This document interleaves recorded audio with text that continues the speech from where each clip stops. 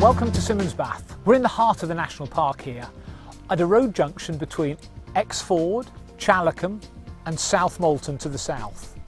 It's in the Barle Valley, with the River Barle starting at Pinkery Pond and flowing all the way south down to Exeter.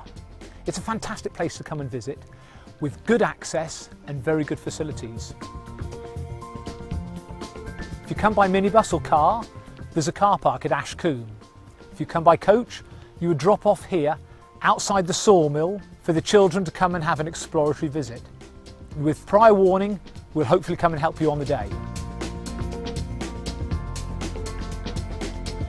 The beauty of coming to Simonsbath is that it has opportunities in all weathers. The sawmill will definitely provide you with a dry base.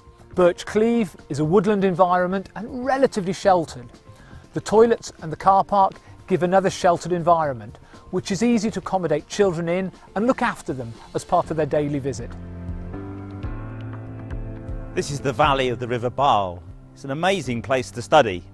All sorts of things of interest here. In particular, this is where the Industrial Revolution of the 19th century had an impact on Exmoor. There's a water power sawmill to investigate, one of the very first in the southwest. And further down the valley is where people over 150 years ago searched out and mined for iron ore that would be manufactured into pig iron and perhaps later into steel. And there's the remains of uh, where they mined and where they lived. And amazingly, further down the valley, there's Cow Castle.